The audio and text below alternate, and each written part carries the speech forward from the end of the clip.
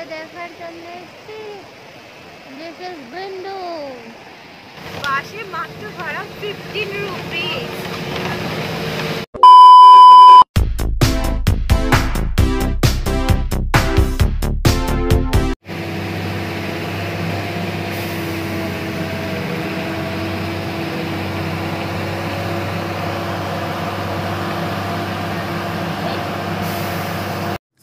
প্রাকৃতিক সৌন্দর্যকে উপভোগ করতে আর পাহাড়ি রাস্তা ধরে এঁকে বেঁকে উঠে চলা পথে আমরা চলেছি একটি বিশেষ জায়গায়।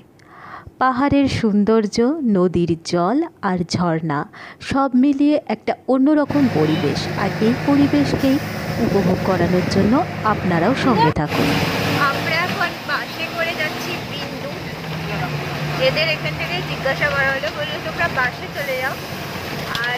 বাসে মাত্র ভাড়া ফিফটিন রুপিস পনেরো টাকা করে। তো আমরা এখন যাচ্ছি আর বেশি দূর না। আর গাড়ি ভাড়া করলে হয়তো গাড়ি ভাড়া করে আমাদের বলেছিল নিয়ে যাব টু থাউজেন্ড সেখানে আমরা মাত্র ফিফটিন রুপিসে ঘুরছি থাকো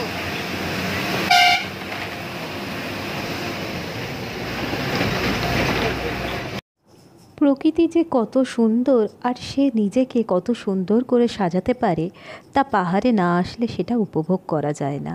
আর এই আঁকাবাঁকা পথ ধরে চলতে চলতেই কোথাও কোথাও এখানকার বসতিরা তাদের নিজেদের জীবিকা অর্জন এবং খাদ্য সংগ্রহের জন্য বিভিন্ন ধরনের চাষাবাদ করে থাকে। আর তারই ছোট্ট নমুনা এই পাহাড়ে তোমাদের দেখাতে চলেছি। পাহাড় কেটে ছোট্ট ছোট্ট জায়গা দিয়ে সেখানে চাষ করা হচ্ছে। আর দেখো, এখানেও চলছে লাঙল। যে লাঙল চাষ খুবই এখন রেয়ার আমাদের ওখানে হয়তো দেখাই যায় না সমতল ভূমিতে। পাহাড়ি অঞ্চলে এখনও সেই বলদ বা গরু দিয়ে লাঙল টানা। দেখে ভীষণই ভালো লাগল। ভাবলাম তোমাদের সাথেও শেয়ার করি এই ছোট্ট বিষয়টি। প্রকৃতি যতটা সুন্দর, তার সাথে সাথে আমাদের বসবাসের সঙ্গে সঙ্গে তার প্রাকৃতিক সৌন্দর্যকে আরও যেন মনোমুগ্ধ করেছে। এখন আমরা একটু হাঁটছি বাস থেকে নেমে। আর এখানে খুব সুন্দর জল আছে। মসজিদটা পড়ে এলেই ভালো হতো কোনো জল আছে কি করব? দেখো দেখাচ্ছি খুব সুন্দর জলটা।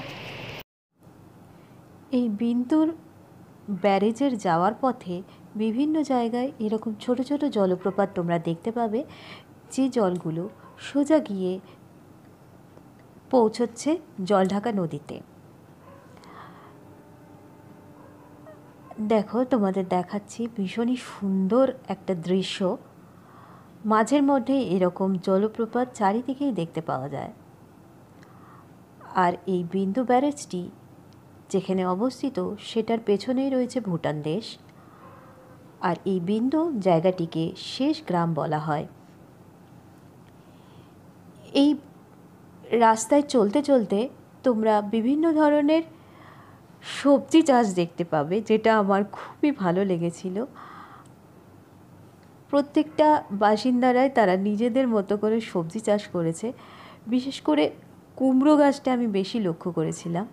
আর ওই যে দূরে বিন্দু ব্যারেজটা দেখা যাচ্ছে তার ঠিক পেছনেই রয়েছে ভুটান দেশ।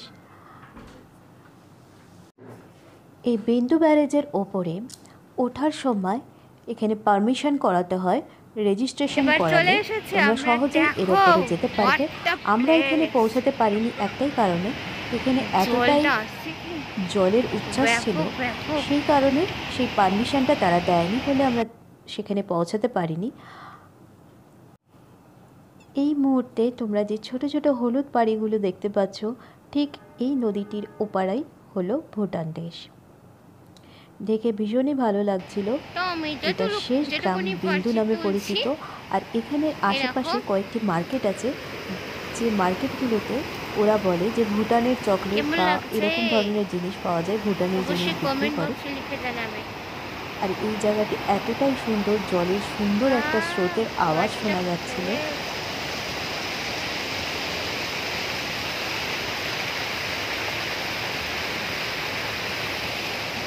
জায়গাটা খুবই সুন্দর বাট দু হাজার টাকার গাড়ি ভাড়া করে আসলে ইন্টারেস্ট লাগতো না।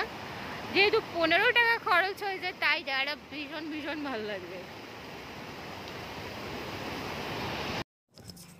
এখানে প্রকৃতি যেন তার নিজের খেয়ালেই নিজের সৌন্দর্যকে সাজিয়ে তোলে ঋতুর পরিবর্তনের সাথে সাথে। বর্ষাকালে এর সৌন্দর্য এক অপার। আর শীতকালে এখানে জলের পরিমাণ কিছুটা কম থাকে, সেটার সৌন্দর্য একটা অন্যরকম আর এই পরিবেশটা এতটাই সুন্দর ছিল যে না গরম, না ঠান্ডা, মেঘলা মেঘলা ওয়েদার ভীষণ ভীষণ একটা মনোমুগ্ধকর পরিবেশ। আমরা যেখানে রয়েছি সেটা হলো ঝালং। ঝালং থেকে আমরা এই বিন্দুতে এসেছি। তো ঝালংয়ে প্রচুর হোমস্টে আছে। এখানে হোটেল সেরকমভাবে নেই, কিন্তু প্রচুর হোমস্টে আছে আর হোমস্টেগুলো ভীষণই ভালো। তবে আমরা এই মুহূর্তে যে হোমস্টেটায় আছি, সেখান থেকে এই নদীটা ভীষণ সুন্দরভাবে দেখা যায় আর জলের আওয়াজটাও উপভোগ করা যায়। আদার্স যতগুলো হোমস্টে আছে সেরকমভাবে এই সৌন্দর্যটাকে উপভোগ করতে পারবে না, সেটা আমরা ওখানে গিয়েই বুঝতে পেরেছি। অবশ্যই দেখাবো আমরা কোথায় রয়েছি। আর এই মুহূর্তে তোমরা যে জলটা দেখতে পাচ্ছ, এই জলটাই সেই ঝালংয়ের কাছে গেছে। সেখান থেকেই জলবিদ্যুৎ কেন্দ্র দেখতে পেয়েছিলাম আমরা। সেটাকেও আমরা ক্যামেরাবন্দি করেছি। অবশ্যই দেখাবো এই জলবিদ্যুৎ কেন্দ্রটি। তবে এই মুহূর্তে যে জলটার গতি তোমরা দেখতে পাচ্ছ, সেটা শুধুমাত্র বর্ষাকালেই থাকে। দেখো কি সুন্দর জায়গাটা। আমাকে নামতে ইচ্ছে আমার এখানে নামার খুব ইচ্ছা ছিল। আমাকে নামতে ইচ্ছে আমি ভেবেছিলাম ওই জায়গাটা যাব। কিছুতেই যেতে দিচ্ছে না আমার।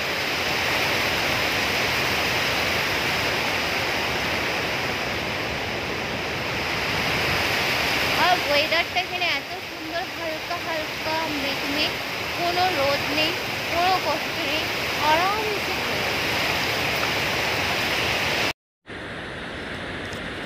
এখানে ছবি তোলার জন্য একটা আদর্শ জায়গা আমার মনে হয়েছে, তো বিভিন্ন ধরনের ছবিও আমরা এখানে তুলেছি। আর এইখানে যারা ঘুরতে আসতে চাইছো, অবশ্যই তোমরা বর্ষাকালে অবশ্যই এসব ভীষণ ভালো লাগবে। আর শীতকালে যদি আসো, তো এতটা সৌন্দর্য নাও দেখতে পেতে পারো তোমরা। তো এখান থেকে আমরা সোজা চলে যাব, আমরা যেখানে আছি, সেই ঝালংয়ে। তো তার আগে কিছু ক্যামেরা বন্দি করছি। ছোট্ট ছোট্ট মুহূর্ত আর এই প্রাকৃতিক সৌন্দর্যকে।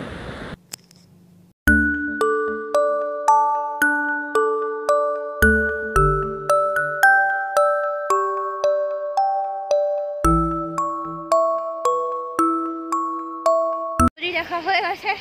এবার আমরা ব্যাক করছি আর এখানে দেখছি সবাই খুব সবজি চাষ করেছে। এদিক ওদিক। একটু জল দেখা যাচ্ছে। তো আমরা চলছি একটুখানি বেশি সাবধান। এই দিকে যাব না, ওই দিকে যাব না, আমাকে একটু নেমে ছবি তুলতে দিল তো তোমাদের এই দেখিয়ে দিলাম, এবার বাড়ি যাওয়ার পালা। আজকের ভিডিও এখানে শেষ করছি, বাকিটা তোমরা পরের দিন দেখে নিও। আজকে রাতটা এখানে থাকব নেক্সট ডে মর্নিং বেরিয়ে যাব। Okay bye